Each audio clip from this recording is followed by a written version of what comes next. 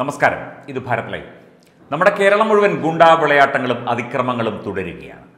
നിരവധി കാര്യങ്ങളാണ് വന്നുകൊണ്ടിരിക്കുന്നത്. ലോ കോളേജിൽ ഇലക്ഷനോടനുബന്ധിച്ച് എസ് എഫ് ഐക്കാർ നടത്തിയ അതിക്രമം. അതിപ്പോൾ സി പി എമ്മിന്റെ ഗുണ്ട സെറ്റപ്പിന്റെ ചെറിയൊരു രൂപം എന്നേ ഉള്ളൂ. ഒരു പാവം പെൺകുട്ടിയെയാണ് വലിച്ചിഴച്ച് അതിക്രൂരമായി ആക്രമിച്ചത്. അതുപോലെ വിവിധ ഭാഗങ്ങളിൽ തലസ്ഥാന നഗരത്തിന്റെ വിവിധ ഭാഗങ്ങളിൽ ഗുണ്ടാ വിളയാട്ടങ്ങളൊക്കെ തുടരുകയാണ്. അതവിടെ നിൽക്കട്ടെ. തലസ്ഥാനത്ത് ഏതെങ്കിലും ഒരു മേഖലയിൽ വഴിവിളക്കുകൾ കത്തുന്നുണ്ടോ? തലസ്ഥാന നഗരവാസികൾക്ക് നന്നായിട്ടറിയാം. ഒട്ടുമിക്ക സ്ഥലങ്ങളിലും വഴിവിളക്കുകൾ കത്തുന്നില്ല. വിവിധ റെസിഡൻഷ്യൽ ഏരിയകളിൽ പ്രധാനപ്പെട്ട സ്ഥലങ്ങളിലൊക്കെ തന്നെ വഴിവിളക്ക് കണ്ണടച്ചിരിക്കുകയാണ്. സന്ധ്യ കഴിഞ്ഞാൽ തലസ്ഥാന നഗരത്തിന്റെ ഭൂരിഭാഗം പ്രദേശങ്ങളും കൂറ്റാക്കൂറ്റ ഇരുട്ടിലാണ്. ഈ വിഷയവുമായി ബന്ധപ്പെട്ട് തിരുവനന്തപുരം കോർപ്പറേഷനിലെ വനിതാ കൗൺസിൽ അംഗങ്ങൾ കൗൺസിലർമാർ ഉൾപ്പെടെയുള്ള ആളുകൾ കഴിഞ്ഞ ദിവസം കോർപ്പറേഷൻ ഓഫീസ് ഉപരോധിച്ചിരുന്നു. ഇവിടെ എന്തുകൊണ്ട് വഴിവിളക്കുകൾ കത്തുന്നില്ല? മാത്രമല്ല ഒരു പ്രത്യേക രാഷ്ട്രീയ വിഭാഗത്തിൽപ്പെട്ട ബി ജെ പി അംഗങ്ങളായ കൗൺസിലർമാരുടെ പ്രദേശങ്ങളിൽ ആണ് വഴിവിളക്കുകൾ പോയത് നന്നാക്കിയിടാനോ അല്ലെങ്കിൽ വഴിവിളക്കുകൾ കത്തിക്കാനോ ശ്രമിക്കാത്തത് മനഃപൂർവം ഇത് ചെയ്യുന്നതല്ലേ? ഇവിടെ ഈ ഗുണ്ടാവിളയാട്ടങ്ങളും അതിക്രമങ്ങളും ഒക്കെ ഇങ്ങനെ രാവെന്നോ പകലെന്നോ ഇല്ലാതെ നടക്കുമ്പോൾ തലസ്ഥാന നഗരം ഗുണ്ടകളുടെ പിടിയിലമരുമ്പോൾ സമാധാനത്തോടെ മനുഷ്യന് വഴി നടക്കാൻ പറ്റാത്ത വീട്ടിലിരിക്കാൻ പറ്റാത്ത അവസ്ഥ സംജാതമായിക്കൊണ്ടിരിക്കുന്ന ഈ അവസരത്തിൽ വഴിവിളക്കുകൾ പോലും നേരാമണ്ണം കോർപ്പറേഷൻ കത്തിക്കുന്നില്ല എങ്കിൽ അല്ലെങ്കിൽ അതിനുവേണ്ട നടപടികൾ സ്വീകരിക്കുന്നില്ല എങ്കിൽ ഈ ഗുണ്ടകൾക്ക് ഇവർ ഒത്താശ ചെയ്തു കൊടുക്കുകയല്ലേ?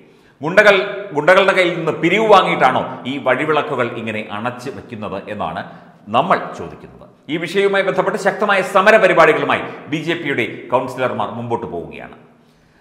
ബി ജെ പി കൗൺസിലറായ ശ്രീമതി സിമി ജ്യോതിഷ് ഈ വിഷയത്തിൽ ഭാരത് ലൈവിനോട് പ്രതികരിച്ചു. അവരുടെ പ്രതികരണത്തിലേക്ക്. നഗരസഭയുടെ പുതിയ ഭരണ സംവിധാനം നിലവിൽ വന്നിട്ട് ഒരു വർഷക്കാലം കഴിഞ്ഞു.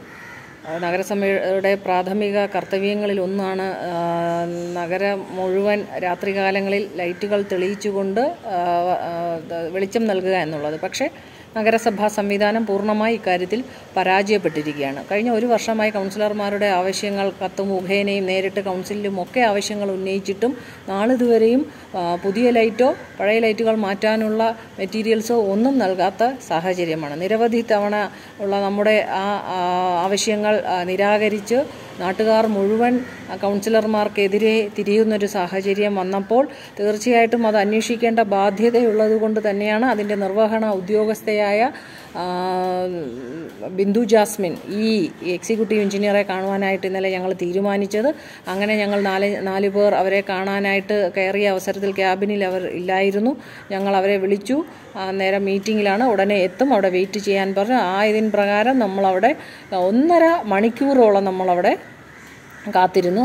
നിരവധി തവണ അതിനുശേഷം ഫോൺ ഫോണിൽ ബന്ധപ്പെടാൻ ശ്രമിച്ചു. അവർ ഫോണ് അറ്റൻഡ് ചെയ്തില്ല. അപ്പോൾ അങ്ങനെ നമ്മുടെ കൗൺസിലേഴ്സിനെ കാണുവാൻ പോലും നിരാകരിച്ച ഒരു സാഹചര്യത്തിൽ നമ്മെ അപമാനിച്ച സാഹചര്യത്തിലാണ് അവിടെ ഇന്നലെ വൈകുന്നേരം അഞ്ചര മണിവരെ നമുക്കവിടെ അവരെ കാത്ത് ഇരിക്കേണ്ടി വന്നത്. ഒരു സത്യാഗ്രഹ രൂപേണ നമുക്കത് ചെയ്യേണ്ടി വന്നത്.